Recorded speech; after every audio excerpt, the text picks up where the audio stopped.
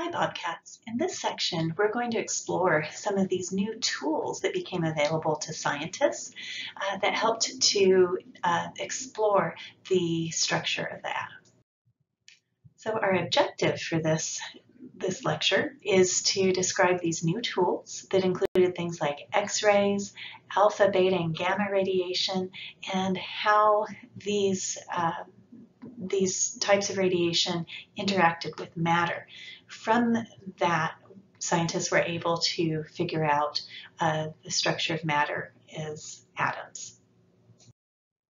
In the late 1800s, William, Wilhelm Röntgen was able to um, create a stable source of X-rays, and um, he discovered that these X-rays could penetrate soft tissues but wouldn't penetrate bones. And so you could actually create images of your bones um, by using x-rays. Um, x-rays are part of the electromagnetic spectrum. Um, the electromagnetic spectrum is basically light. The portion of light that we can see with our eyeballs is referred to as visible light. Um, there are other portions of the spectrum. For instance, if you get to a little bit more energy than visible light, you're in the ultraviolet. If you go to a little bit less energy than the visible light, you're talking infrared, um, and it includes X-rays, gamma rays, micro microwaves. Um, there are various portions of the spectrum, but X-rays are the ones that we can uh, use to see through soft tissues, and Röntgen discovered those around 1895. Around the same time, maybe a year later, uh, the French scientist Henri Becquerel discovered uh, the concept of radioactivity. What he discovered was that there were uh, photographic plates in his lab that had just been sitting around in his lab that had not been used yet, but they had already been exposed somehow and um, they, they, they, even though after the plates had been prepared, um, they were stored in such a way that they weren't exposed to light, somehow when they went to use them, they discovered that the plates really had been exposed already. And they were able to trace this down to a bottle of uranium salts. Um, and for instance, in this uh, image that's shown here, you can see in the bottom portion, there's the image of a cross. Um, basically, uh, they took the bottle of uranium salts and they put it um, on top of a metal cross, and then they put that metal cross on top of the photographic plates. And they were able to create an image of the cross with the, the photographic plate, even though they never exposed the photographic plate to light. Um, this was kind of puzzling. Um, the radiation coming from uh, the uranium salts was responsible for exposing the photographic plates. And uh, the Curies, Marie and Pierre Curie, uh, decided that what must be happening is that there were nuclear reactions taking place in the uranium atoms. And Marie Curie called this spontaneous um, emission of radiation as part of these nuclear reactions uh, radioactivity. She created that word, radioactivity. It turned out there were three types of radioactivity emitted from radioact radioactive substances. Uh, one way that they could be distinguished was by how they reacted in an electric field. Um, one type of this radiation just passed straight through undeflected in a, a an electric field, and that type was called gamma rays. So uh, gamma rays are these ones right here with the pink arrow. Uh, that's the lowercase Greek letter gamma. If I write that by hand, I tend to write it this way, something like that. Um, some of these um, some of the particles coming out of this radioactive substance would deflect so that it would bend towards the positive side of the electric field, and the ones that move toward the positive side are referred to as beta rays. And so they must have a negative charge associated with them. And then some of the particles coming out of this radioactive source would deflect towards the negative plate of the electric field, and so they must be positively charged, and those things uh, were referred to as alpha rays. So uh, scientists are being really creative here with these three forms of radiation, calling one alpha, one beta, and one gamma. the first three letters of the Greek alphabet. In addition to the differences in charge among the three types of radiation, there's also a difference in how deeply the types of radiation can penetrate matter. This is referred to as the penetrating power. Alpha radiation has very, very little penetrating power, and something as thin as paper is usually capable of stopping it. Uh, clothing will stop it as long as there aren't um, holes because of the weave of the, the clothing. Um, beta radiation can uh, pass right through paper, but it'll be stopped by something like wood.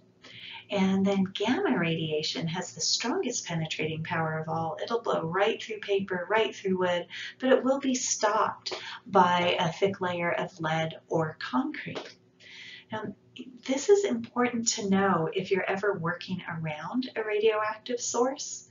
Um, if you're working with something that's an alpha emitter, you can just grab a cardboard box and place that cardboard box around your alpha emitter and you'll be pretty well protected from the radiation.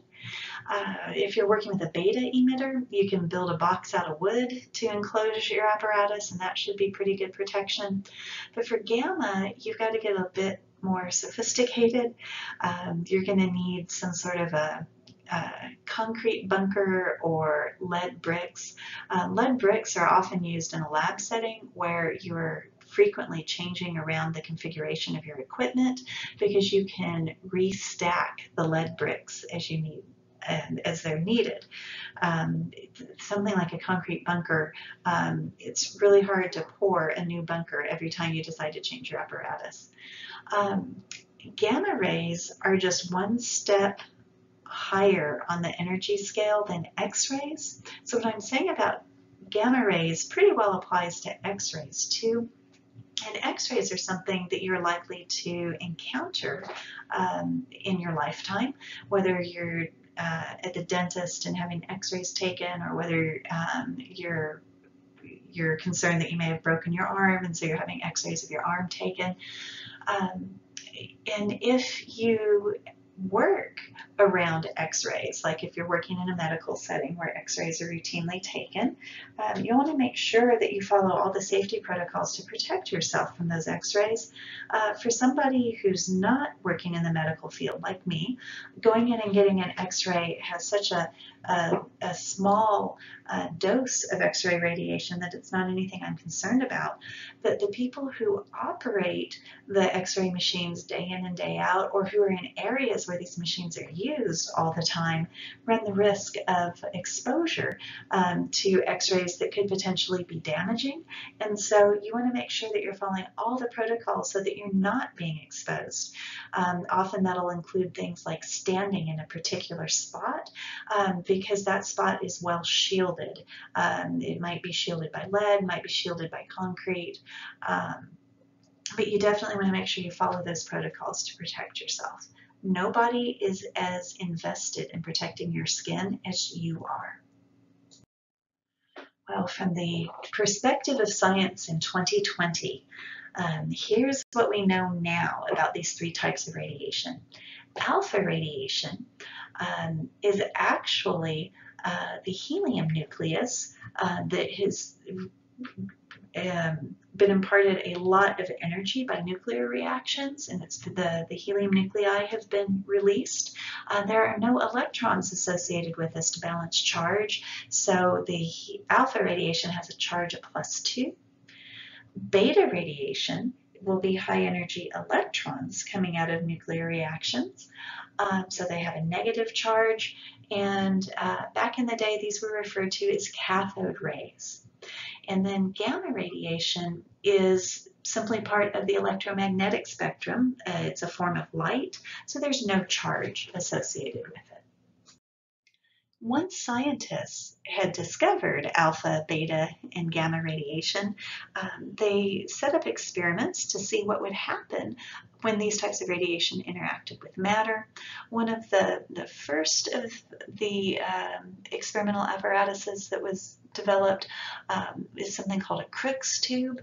In um, our modern uh, language, we would probably call this a cathode ray tube or a CRT. Um, so that's the image that I pulled up here, um, a CRT perhaps from some sort of display screen. Um, this website here has a lot of really cool stuff about Crookes tubes or CRTs. Um, so if you're kind of a history buff or history of science buff, this is actually a really interesting website to go and check out. So our objective was to take a look at some of the new tools, things like X-rays, alpha, beta, and gamma radiation, um, and um, just see what these tools are that scientists were using to explore the structure of matter.